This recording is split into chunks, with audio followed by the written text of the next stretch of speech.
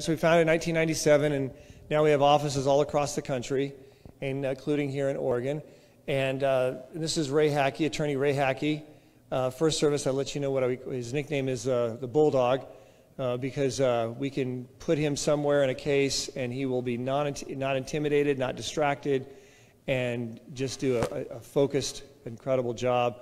And uh, just has a great, great track record of litigation. And we're just so glad that he's here in our, our Oregon office um, for, for good reason. So go ahead. And, what do you want to say?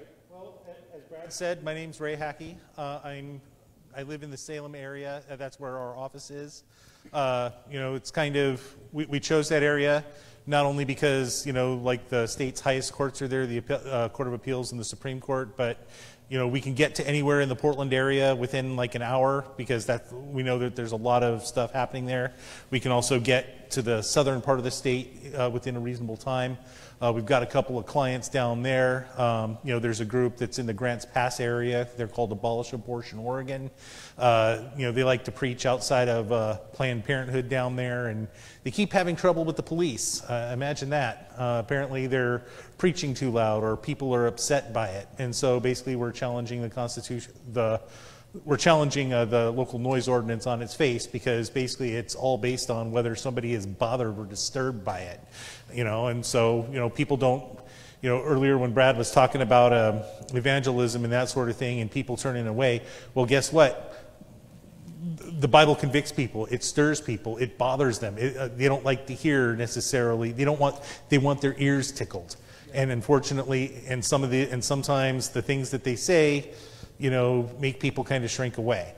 Uh, you know, uh, it's like like the case in uh, it's similar to what we're dealing with up in Washington uh, State, uh, Seattle, mm-hmm. where the uh, the BLM Antifa are occupying the park. You guys know all about that. You guys have your occupiers in Portland and rioters and stuff. Well, they're they're there, and a man comes out to preach the gospel, and he has a sign, very controversial sign. It says um, only Jesus saves. It's like, okay, what's wrong with that, right? Um, that's what Jesus said, you know. So um, only Jesus saves, and he's preaching the gospel, not politics, anything. And they come and they rush him and they beat him up. Mm-hmm. He's bleeding, just brutal with hatred for the gospel. And then the police finally show up. And the police, he thinks, okay, the police are going to protect me and arrest these people for a grotesque assault of battery. No, they arrest him for disturbing the peace. And he's being prosecuted, so we're representing him. Mm. And so those are the kind of cases, those kind of things we see here in Oregon too, right? Yes, absolutely. In fact, uh, another one of my clients, we actually won a settlement in this case. Uh, he, uh, he, he wasn't even necessarily preaching. He was just standing in the in uh, Waterfront Park, uh, holding an anti-abortion sign, passing out tracts, and all of a sudden he gets a citation from an, from an officer basically saying he's harassing people. Okay, uh, and so he, he wasn't doing anything. He has the right of free speech. Either we have free speech or we don't. Either we have freedom of religion or we don't. I'll, tell, I'll share something with you. The verse that kind of confirmed my calling to be a lawyer is Psalm 11.3. If the foundations are destroyed, what can the righteous do? Religious freedom is a foundation on which this country is built. And there are people in power who are trying to erode that foundation. Well, all I got to say is, not on the Bulldogs' watch. exactly. You know, it's interesting, also a little about Ray. Um, he interned with us for how many years? Was three and a half. Three and a half years. He interned with us while, while in law school. He's in the four year program, I think, and at McGeorge.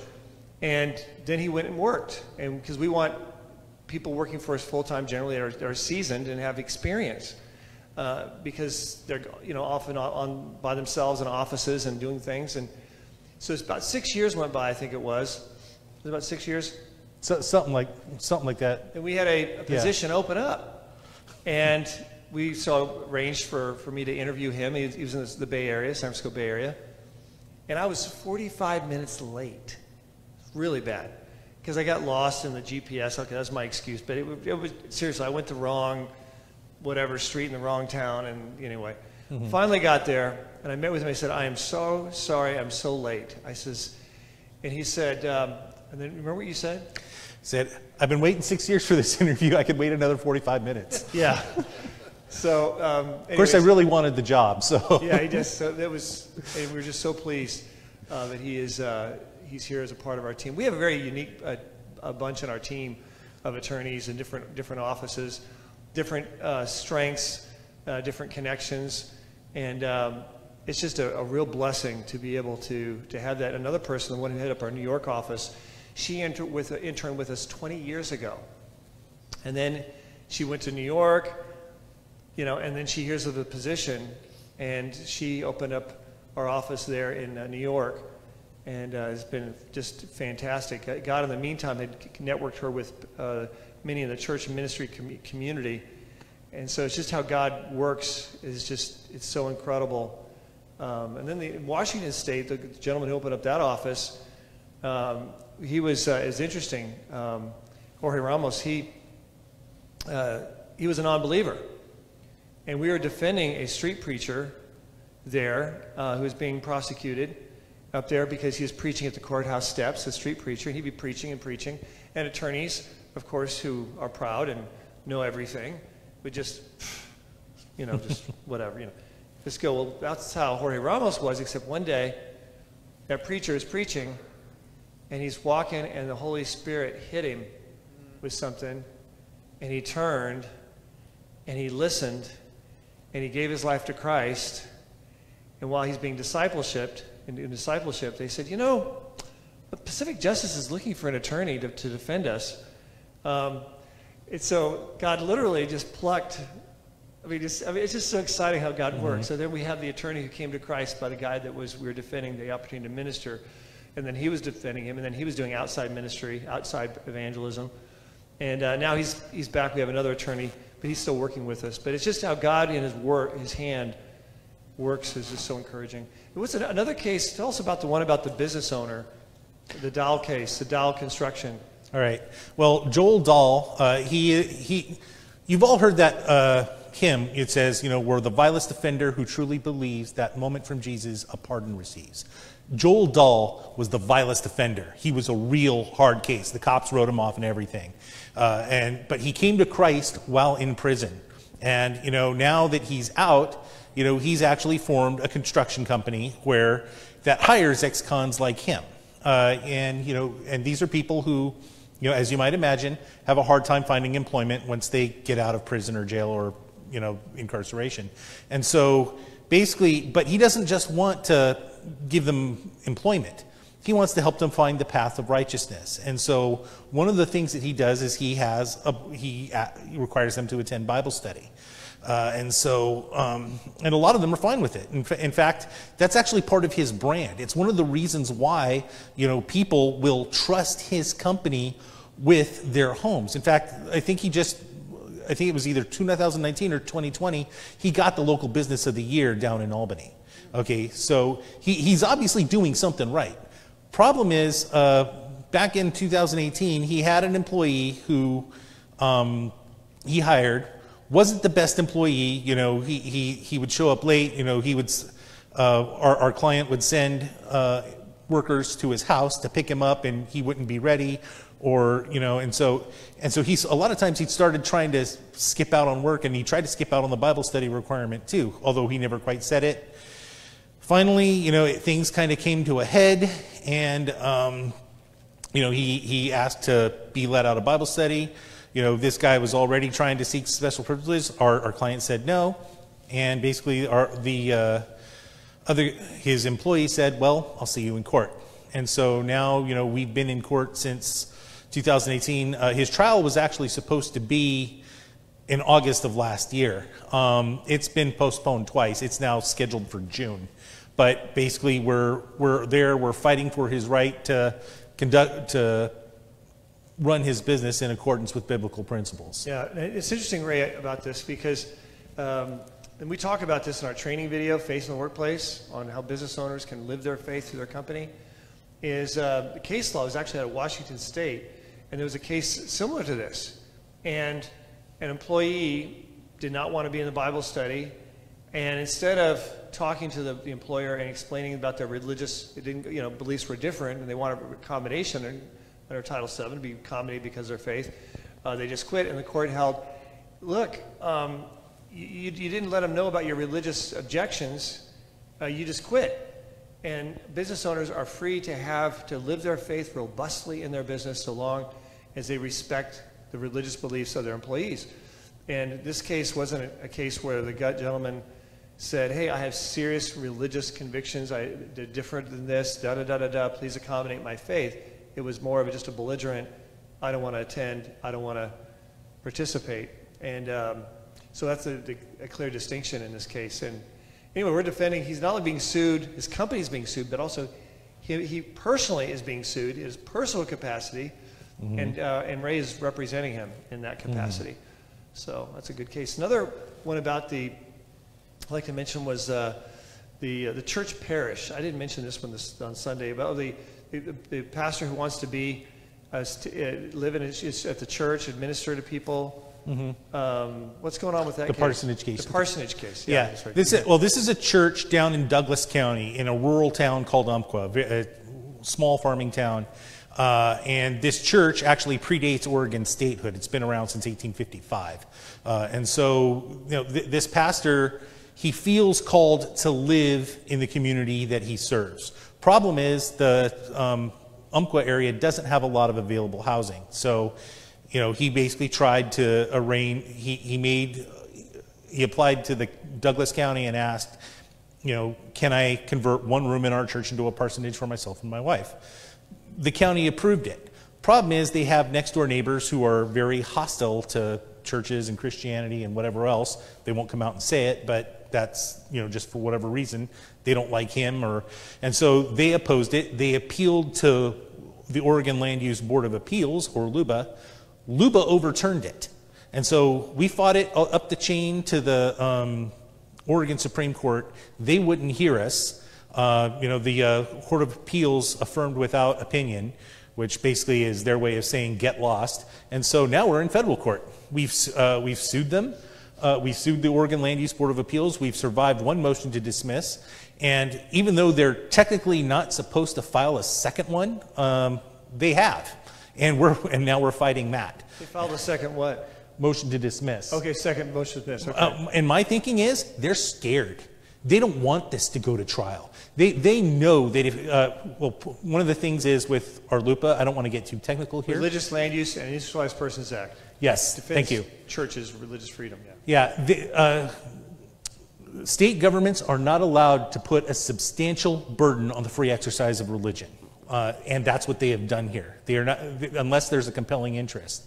And there is no compelling interest here. They're supposed to treat churches on equal terms with other similarly situated land uses. They have not done that. They know they are going to lose. They, are no, they know they are going to lose face. I have a feeling this case, you know, based on a lot of the technical stuff that's involved will probably reach the Supreme Court. I have, that's just a gut feeling I have. I'm hoping that it doesn't. But basically, we're fighting and, uh, you know, we, we won't stop fighting. This is a tiny little church out in the middle of, you know, rural farmland. But we care about those, we care about them. And without places like Pacific Justice Institute, you know, they, they have like 20 parishioners. You know, they don't have a, a, deep well of funds. Uh, the pastor himself, you know, he has a second job. He's bivocational. Uh, he, he doesn't have, uh, he's not rolling in dough. So we give them access to the justice system that they would not otherwise have. Right. You know, what, I'm glad you made that point because uh, we at Pacific Justice, we don't have like a private law firm on the side that we tell people, because um, I've seen this done before, where they say, oh, your church is how big? You have how much? Your budget's how much? Whoa, well, that's really for our for profit firm. And they just, you know, we don't do a bait and switch. We never do that, ever. Mm-hmm. Uh, we don't cherry pick just the high profile cases that the marketing company says is going to be a good case or is going to be a high profile case. We make sure everyone gets help. And we also, we never charge a, a church an insurance. Um, I know another entity that does that. They'll say, we'll defend you but based on your number of members, you have to pay us this much per month as an insurance. We don't do that. Um, so it's, it's really, I, I, I, I'm biased, obviously, but I really just, I just love the fact that we get so many calls and, and messages and emails from people that we've helped, some of whom I'm not even aware of. I mean, because Ray's already helped them and taken it on. Uh, but it's, it's so encouraging, and uh, this state is keeping us very busy. What about that, uh, that church that had the education wing? This is, Okay. this is unbelievable. Okay. Okay. Well, that church is actually here in Clackamas County. It's over. he- It's over in Milwaukie. Uh, this, it's Faith on Hill Church, in case any of you have ever heard of it. Uh, but basically, they have this education wing. It's devoted to educational purposes, and they've opened it up to a homeschool co- co-op called Scopus Christian School. Now, basically, uh, they, they have what's called a conditional use permit. That's it's basically the county has granted them permission to use their educational wing for educational purposes.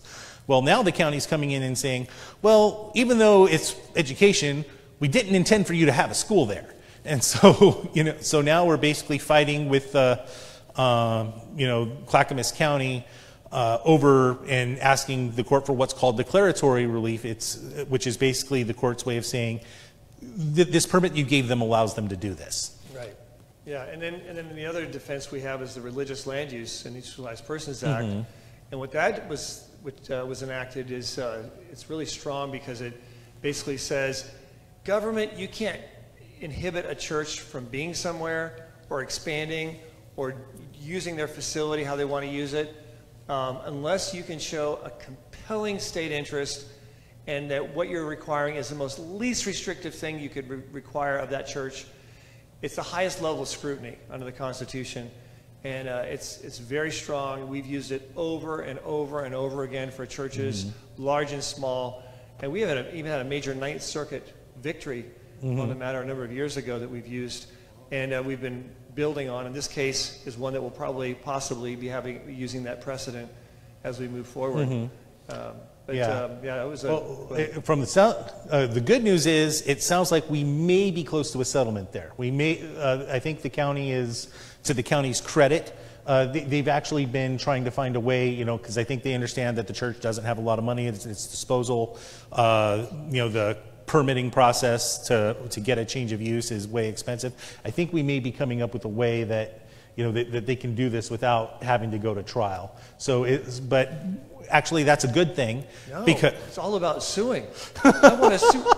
Oh, what I meant to say. No, go ahead. It, sorry. it, it, is, it is a good thing because, you know, the, the trials can be uh, hectic, costly, trials can be expensive, trials may not necessarily go our way. But, you know, if we can resolve things without going to trial, that's always a wonderful thing. Right, it is. In fact, uh, over 90% of our case matters, we get resolved without litigation at all.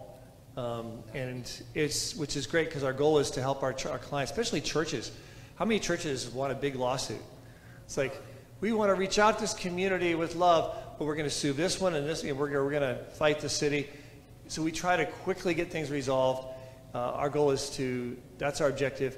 Um, it's, it's sort of counter to your traditional law firm because traditional law firm is one that they, they make their money when there's conflict. That's one of the problems in our system is it, it inherently, you know, that's just how it works. So um, anyway, so that's a great, that's what he's doing on, on that case.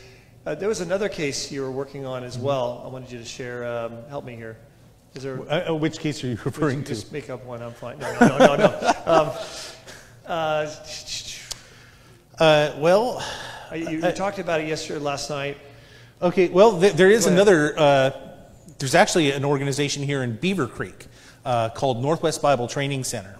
Uh, basically, what they, they're uh, a drug rehab facility, you know, but they use, uh, you know, Christian principles to kind of help people get clean and get free. Uh, and basically, you know, they were initially situated up in Portland, uh, but the problem is, you know, they had like a bar across the street and a marijuana dispensary open up next door, and well, as you can under, as you might imagine, that's, you know, it's kind of hard to break people free when temptation is on your doorstep, and so they chose to come out, you know, way the heck out there, you know, in in kind of the more rural part of Beavercreek uh, because to get away from that temptation. Uh, they're fleeing temptation. It's a good thing. Problem is, they, um, they don't, you know, first of all, the, county th- thinks of them as a church. They're not really a church. You know, it, it, you're not going to see their parking lot full on Sundays. Uh, they don't really fit neatly in any of the categories that um, the county grants permits for. And so, so they've kind of run it, run into some problems there. Uh, also, some problems with some permits that the previous owners of the property didn't get. And so now, basically, you know, they, they kind of have to get approved to just be where they're at and do what they're doing. And you know, we're and basically we've we've, we've butted heads with the county a little bit, but the county seems to be at least okay. Now they're at least willing to work with us. Yeah. I know a ch- church in, uh, it was in Dixon, California. They were uh, wanting to get a, the permit to occupy this, this building in downtown Dixon.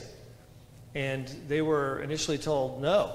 And the planning commissioner, one of the planning commissioners on the commission, I'll never forget this, because I was there, says, I just don't think that these kind of people are going to shop in our shops and eat in our restaurants. As an attorney, I'm like going, oh, thank you. So then I, get, I attended the next planning commission meeting representing the church, and I said, um, I said, uh, first off, I would like to thank this planning commission for your openness and transparency. Uh, and, and in fact, the, the, the fact that this is on videotape and on the record, everything you say, I can just, I want you to know as an attorney how much I appreciate that transparency. It, it is so helpful in times like this. And then I, I mean, as I'm saying that, what I'm really saying is, think about what you said the last meeting. And the lady who said this, the planning commissioner, she says it came time for her to talk. She says, "Yeah, um, I've really been thinking about this, and I see no reason why we shouldn't welcome this church into our town, and I think this would be a great thing." And um, one of the things, the arguments they gave against the church, they said, uh, it was a Calvary Chapel, I remember now. Mm-hmm. They said, uh, they said, well, you know, right across the street from your church is this is this bar. And um, I mean, you know, it sounds like this wouldn't be a good, a good fit to have something like that right across from your church. And the church said, Oh, quite the contrary. Uh, we're delighted that they're right across from our church. We're looking forward to our relationship with, with, with that institution. Mm-hmm. So it was, uh, because it, it, was like, yes, um, you know, occupy, you know, where does Satan go for vacation? Boom, I want to give him a terrible vacation. Let's go there. Um, mm-hmm. But at the same time, when you got a ministry that is dealing with people with a, a particular witness and uh, temptation, mm-hmm. then it can be really problematic. There was a uh, pro-life clinics in California that were required not that long ago. Remember this, Ray? Yeah. They were ordered in their waiting room. This is a pro-life clinic to have a large sign saying where women can get a free or low-cost abortion and the number to call. Yeah, that's like telling AA they have to have a big sign saying where they get free booze, right? And the number to call delivered to your door. You know, mm-hmm. it's like mm-hmm. what? That's crazy. And we were the first to step up to file that lawsuit to challenge it. Others followed suit. They mm-hmm. all went up to the Supreme Court. The Supreme Court uh, said this is unconstitutional. You can't tell a ministry that they have to advertise something that goes against what they believe. That's so. Uh, there's some great case law that we've been able to f- participate in uh, that I think is, mm-hmm. is going to be real helpful. And it's funny that you should mention that that church, you know, set up shop next to a bar, because there's actually two cases that it reminded me of that uh, I'd love to talk about. One of them's here in Oregon. Uh, it involves uh, the the little town of Drain, which is a little just a little ways off I-5. Yeah, population 1,200 uh, roughly. Yeah, basically they have a strip club that literally just opened next to a church. There's 25 feet separating oh, them. Yeah. 25 feet. Okay, and uh, so basically I got word about this way back in June. So immediately, you know, I, I one of the things I did when I was an intern is I, you know, I did research into that, and basically I found out that you know there's there is a compelling interest in keeping places like that far away from places where children congregate, which include churches. 25 feet is not very far. So um, basically, I just dashed off a letter to the city council saying, you know, you, you can find a way to keep this church away from that, or, or excuse me, keep the strip club away from the church. Uh, and within, by August 1st, they had uh, enacted an ordinance keeping them away. Uh, so right now, they're sadly, the strip club is still there, but um, you know the church is kind of seizing it as an opportunity to witness to um, the mostly men who um, patronize that establishment. Yeah. Uh, and you know, on top of that, uh, you know, if heaven forbid, you know. It, litigate, it comes to litigation, guess what? We'll be there. We, we will intervene on the church's behalf and say, guess what? This place is a danger to the children. And another case, and, and this is where Brad gave me the nickname Bulldog, by the way. This case involved San, the city of San Francisco, okay? Not exactly the most welcoming place for Christians. uh, yeah, it's, think it's Portland's big sister. Uh, so basically, we've got a, a church and a preschool in a largely in a community mostly made up of Chinese immigrants. These are people who, you know, their English is very very limited. They don't really know how to express themselves. Nobody see, nobody will seem to listen to them except us. Okay, they turn to us. And so we go in, we advocate on their behalf and basically say, you know, look, this is an adult business or this is an adult oriented business establishment, not much different from a strip club or an adult bookstore or a bar or a liquor store. They're both within 500 feet. You know, I think the law in San Francisco required 600 feet. A marijuana dispensary? This is the marijuana Okay, dispensary yes, case. Yeah, a, mar- a medical mar- a pot shop wanted to set up sh- right very close to the, these two establishments. We walked into San Francisco. There, there's thousands of people at this meeting on, on both sides, and I'll, I'll be blunt. The San Francisco uh, Board of um, Board of Commissioners hates us. They do not like us at all. So Some reason. so basically, I go in, I'm arguing on their behalf, I'm, I'm getting boos, I'm getting hisses. Yeah. Um, and basically, I argue our case. At the end of the night, basically, I'm getting reamed, you know, bas- basically, the, the commissioners each, are each taking a turn blasting us, but yet, what happens? They voted nine to two in our favor. The pot shop is not there. Yeah, it was, it was, this was an incredible God thing because they were vicious, they were attacking us, and you're just like, there's no way we're going to win this. And, and yet, and he, and he stood his ground. They're screaming at him, booing him, just, and he's just like, that's what I say, the bulldog. That's where like he got that reputation right from that point. I thought, I don't know if I could have with, dealt with that. There's like screaming and yelling and mean and viciousness and hate. And then, but in the end, God is the final authority. You know, if God can speak to a donkey, he can speak to the Ninth Circuit. He can speak to the planning, you know, San Francisco Commission, and and so um, so it was it was actually it was really incredible. We saw another miraculous decision, very similar to this, dealing with homeschoolers uh, in California. They were uh, was- we knew it was going to happen eventually. It was sort of like um, you know like a, a war that you know both sides don't acknowledge the other kind of thing, and you're going to eventually have a conflict, and you're not sure where the first shot's going to be fired uh, dealing with the rights of homeschooling in California because it was one of the worst states to homeschool in because the state superintendent of public instruction says it's illegal. The attorney general said it's illegal. Well, the prior attorney general said it was illegal and protected. So this is this, this split. And the teachers union says it's illegal to homeschool. Well, it comes out of an appellate court. And I don't know if you remember this or not, but it was uh, a number of years ago. The appellate court and uh, juvenile out of juvenile court, and they said homeschooling is illegal they voted three to zero. Unless you're a credentialed teacher, you cannot homeschool in California, period. We stepped in and we represented the homeschooling program that was being used. My friend Michael Farris was uh, working, defending one of the parents. So we go in, we file a motion for them to rehear the case. Now, it's, you just don't see that happen. You know, that's, like- that's three men with black robes sitting up high, possibly having to admit that they were wrong, okay? Remember that Happy Days? Okay, guys, okay. Episode, okay. So they, um, they allow us to, re, to rehear the case. Right? So we, we go in, we argue the case. I'm thinking, awesome. I call Kevin Snider, our chief counsel, who argued it. He goes, he goes, Brad, he goes, we lost. I go, well, wait a minute. I mean, because he never says we just lost. He may say, well, it didn't go well, it doesn't like. He says, we lost. We need to stop prepping for the appeal to the state Supreme Court. I said, really? I says, yes, it's clear. They were all three just vicious towards us.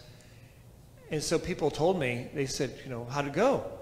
I says, um, unless God intervenes, we lost. The only way we're going to win this is if there's an intervention from God, because they are resolutely against us. And so homeschoolers, we put it out, they were praying, people were pray- praying, Christians were praying, and then they came down with their decision, three to zero, reversing themselves. Whoa. I've never seen this ever in my lifetime mm-hmm. reversed themselves, and they said homeschooling is legal in California without being a credentialed teacher. And it was unbelievable. The other side appeals it. State Supreme Court didn't take it up. California went from being one of the most riskiest places to homeschool to one of the safest places to homeschool. But now they have social workers being picking up there, being more aggressive and things like that. But um, by the way, social workers, that's another area that we, we get involved in. Oregon is one of the worst in the country. Oregon, Washington State, California, like Illinois, New York, some of the worst in the country. Um, and you've, you've heard of those situations as, as well, where they come threaten to take kids. And that's my expertise. Uh, so they often end up being sent to me because I give emergency counsel to parents uh, who have to deal with social workers threatening to take their kids because of some anonymous complaint. So uh, that keeps us real busy. Yeah, we've actually got, yeah, I've gotten calls like that too. You know, we actually had uh, one individual who had to, ultimately made the decision to, uh, uh, because his uh, daughter was um, kind of having feelings like she wanted to be a boy. And basically, unfortunately, uh, state law requires that uh, any counselors basically respect that, that counsel accordingly. And, you know, the father didn't want that, so they wound up taking their child to Tennessee. Yeah. So that's in California. We had same thing. The parents called me before the social worker came. Actually, it was a pastor and his wife, and uh, called and said, uh, "What do we do?" Your daughter was I think 13. Yeah, 13, and she wanted to be a boy, and uh, and so I said, well, "What are you going to tell the social worker tomorrow?" And the pastor said, "Well, we're going to explain to her that we're Christians." and that we believe what the Bible says is true, and we're going to uh, raise, and that we, this is how we raise our child, and we're going to have our child get Christian counseling and Christian instruction, and that uh, so that she can be set free from this, these feelings and things, and da da da da. And I said, okay, um, you're going to lose your ch- child tomorrow if you say that. Here's what you're going to say. You're going to, you're going to thank the social worker for the work that they're doing and their commitment to help people like your daughter who are different and, and helping uh, encourage more tolerance in our society and, and, your, and, and sensitivity for people like your daughter. And you're so grateful. And how you are always unconditional in your love for your daughter, no matter what she does or what chooses. That's the true part. Anyway, um, so the unconditional love part. Anyways, he says to me, well, wait, wait a minute. That's, that's not what we believe. I said, oh, I know. I says, but when Pharaoh's people knocked on Moses' mom's door and said, um, Do you have any children? Any, any babies here we can kill? She didn't say, Oh, you caught me. Okay, it's in a little basket. You'll see three reeds to the right. In that little cove there, you'll find the baby. Go ahead and kill it. She didn't do that. Did Corrie ten Boom when they knocked on the door? She said, Oh, yep, they're in a hiding place. I was hoping you wouldn't ask me that. No. Why? Because it would be a much greater evil to play into that. And so instead, you do what you can to shield that greater evil by protecting your daughter. And that's what they did. They protected their daughter. Their daughter then was then pulled from the public schools after that school semester was over and then put into Christian training, put to a Christian school, and was able to be ministered to and helped constructively. And that kind of tactical training is what we have. With the Supreme Court we have now, we may see some case law where the Supreme Court may say, oh no, that's a violation of parental rights. Let's talk about the Supreme Court that we have now. Um, originally, we had, it was five to four, uh, using the Jacobson, Jacobson rule after this thing, the pandemic happened, saying, which the Jacobson rule basically says, judges, in times of emergency and pandemics and things, um, you just give great deference to governments and governors and let them do what they want. As long as they just have some basis of an emergency, we, we just, we won't get involved in whether constitutional rights are being violated. It's an emergency. They can just, you know, it's a Jacobson rule. And then Amy Coney Barrett was appointed just in time by God's providence, because God knew the outcome of the election. That's all. That's political as I'm going to get today. So anyway, um, yeah, because of it, just worked out perfectly. in His providence. We have Amy Coney Barrett, and then what happened when the Supreme Court re-examined that issue of churches? Yeah.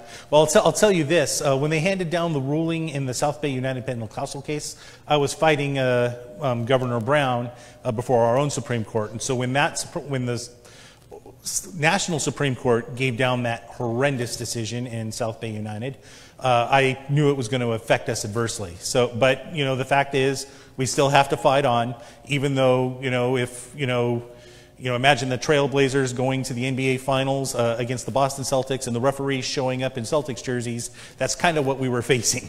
So, uh, but but you still show up, you still play, you still give it your best shot. And so now, uh, thankfully, um, the U.S. Supreme Court has come to its senses, uh, and there was this very brilliant uh, decision, like just that was handed down, I believe, just yesterday, and and uh, Justice Gorsuch wrote it, and you know he talks about you know how you know state governments kind of keep moving the goalposts on this pandemic thing, you know, and you know restoration of liberty is always just around the corner, and basically they said no more. It's been long enough. They need to have their. It's time to restore their religious rights. Yeah. Uh, and they never should have taken them away to begin with. Pretty much is what the implication was. Yeah, and, and it was, which was great was also the courts made it really clear now in two decisions that they just re- recent decisions that you cannot put ever put the Constitution on the shelf. Amen. That the government is always held under scrutiny, pandemic or no pandemic, floods, earthquakes, whatever. They are always under scrutiny to to prove up their case that it's truly compelling state interest, and what they're doing is the most least restrictive means of furthering that interest. There is no just great deference. And I think the Jacobson rule is effectively dead. And I'm delightful for that. Um, even Roberts has, has come to his senses, and he's, he's a follower. He's not really a, a leader. He, he's the weakest Chief Justice I think we've had in 100 years, you know. So, but he now, we have a strong five judges on there. He's come back around, so we, now we have six. So I'm optimistic looking forward that um, I think we have a big light at the end of this tunnel with this new Supreme Court. Let me give you a hypothetical, Ray. Let's say that Ginsburg did not pass away, and that um, and that uh, President Trump did not make a replacement, and that she was still on the court. Would there still be this big light at the end of the tunnel uh, with the, the Jacobson rule staying in, in, in active law? Uh, governors can still do what they want. I, I don't. I don't think it would be. I think it'd be a very different situation, especially since we couldn't expect the Supreme Court to, to be replaced with good justices. Yeah, I, I would certainly be less optimistic, uh, you know, because, well, uh, Justice John Roberts, I, I would go so far as to say he's no longer in the conservative camp. He's, uh, it, it- seems like he's switched sides, um, but it's, so I'd certainly be less optimistic. Yeah, at least I, I saw I, he's wishy-washy. Even like on the was it Obamacare? I think it was, or what he, he ruled on where Yeah, Yeah, where, get this, he was on the other side saying this is unconstitutional with the details of the case. Up until the very, very, very end, he suddenly switches. We're talking like days. In fact, it was so much at the end that in the dissenting opinion, they forgot to change it because it implied that he was still on their side. I mean, it was that it was that far to the very end, very, very, very ending. He was just switched, and it was an emotion thing, and as mm-hmm. opposed to a, a constitutional mm-hmm. justice thing, it was a feelings thing, and um, which can be very, very dangerous. Feelings are very dangerous. right. And Very unfortunately, deceptive. and unfortunately, sometimes judges rule based on their feelings, not based on the law. It's one of the biggest frustrations that we have to deal with as attorneys. Um, something else I want to let you know about is um, the uh, it's it's a fantastic video series. The guy who hosts it is incredible. It's awesome. It's it's called The Dacus Connection. Okay, it's my it's my show. Okay, uh, it's a five part series, and in there we talk about it's. I'm sitting in the middle of a road, so uh, I'm on one side sitting on a red stool, and then we have the dotted yellow line, and then the, and then the other person is on the other side on a, on a blue stool. A little bit of symbolism there, sort of, maybe. Okay. And, um, and all these people I'm interviewing are people who see the world differently. Um, and one of them is a believer. Um, he is a, a brother in Christ, but he is a different uh, uh, political and racial background and different perspective.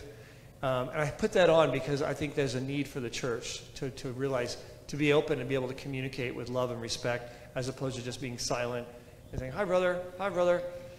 you know, and, and really not being, being more real. And how, and how do you relate and how can you be real but yet but not be offensive? Where do we find it? Uh, Dacus connection. Thank you very much for asking that question. Where do we find it? For just $99, you can get, no, I'm just teasing. Um, it's all, everything we do is free. So if anyone's selling something from PJI, they're, they're not from PJI.